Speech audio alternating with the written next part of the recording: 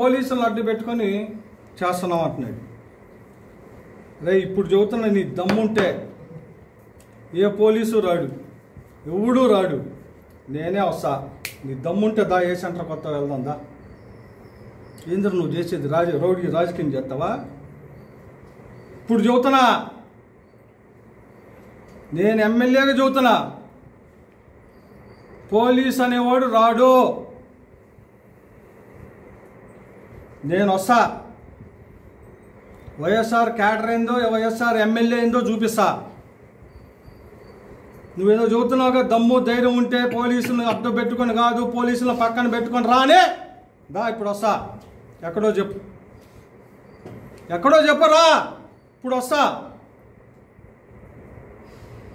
నీలాంటి రౌడీలకి నీలాంటి సెటిల్మెంట్ ఫెలోస్కి నీలాంటి కబ్జాదారులకి నీలాంటి రాజకీయాల్లో ఇట్లాంటి ఎదవ రౌడీ గాలాడు ఉండకూడదు అనే తెనాల ప్రజలు నీకు బుద్ధి చెప్పింది.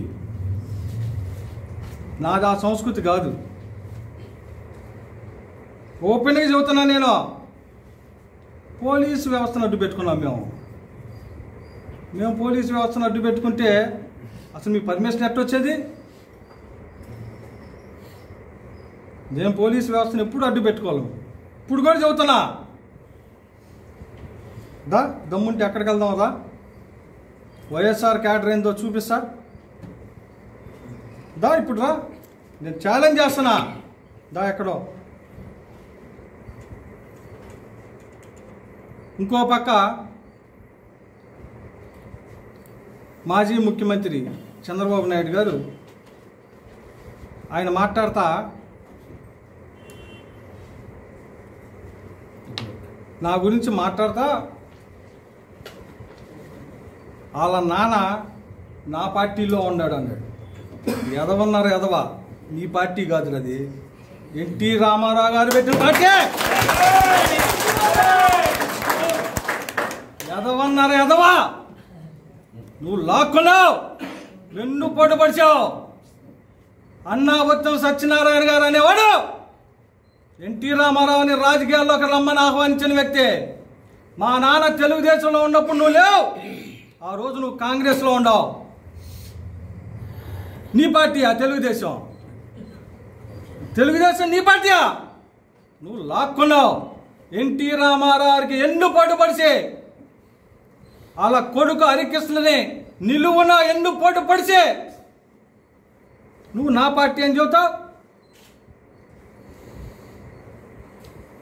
మా నాన్న ఉన్న రోజుకే నువ్వు కాంగ్రెస్ పార్టీలో ఉండవు. తెలుగుదేశంలో కూడా లేవు.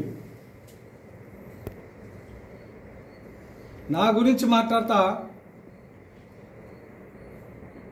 ఎస్ నేను ఇప్పుడు చెబుతున్నా. వన్ ఫార్టీ ఫోర్ సెక్షన్ ఉన్నప్పుడు వచ్చే పొల్లె మేర కూడా దాటని నేను చెప్పా. వచ్చినట్టే చూపించేవాడిని.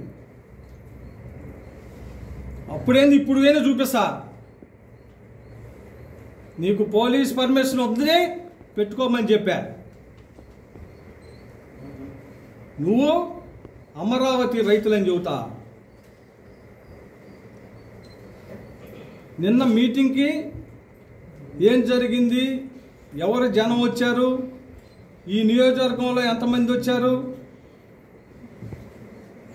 మంగళగిరి నుంచి తెనాలి రూట్ ఎటు? కుక్కతోక వంకరన్నట్టు ముక్కిటన్నట్టు నువ్వు జనాలకు ఎటు నుంచి వచ్చావు? ఏ కమ్మ విలేజ్ మీద నుంచి వచ్చావు?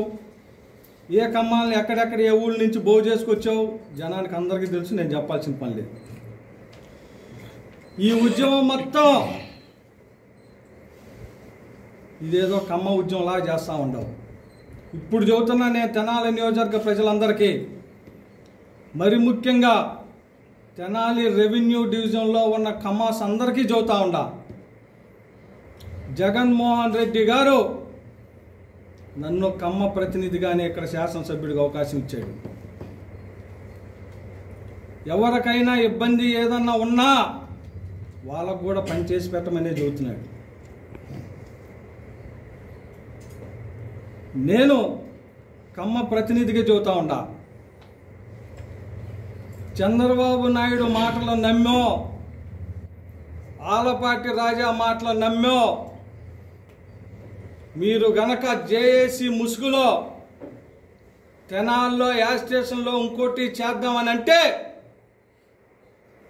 మీ జీవితం నాశనం అవుతుంది వాళ్ళిద్దరు మాటలు నమ్మినాడు ఎవడు? బాగుపడలా. బాగుపడాడు అంటే ఒకరిని తీసుకురండి. ఈరోజు మొత్తాన్ని ఆలపాటి రాజాకేమో ఓడిచ్చారని కోపం. చంద్రబాబు నాయుడు గారికేమో అసలు ఈ రాష్ట్రంలో లేకుండా చేస్తున్నావు కోపం ఈ పార్టీ ఇక అనే సంగతి ఆయనకి తెలుసు.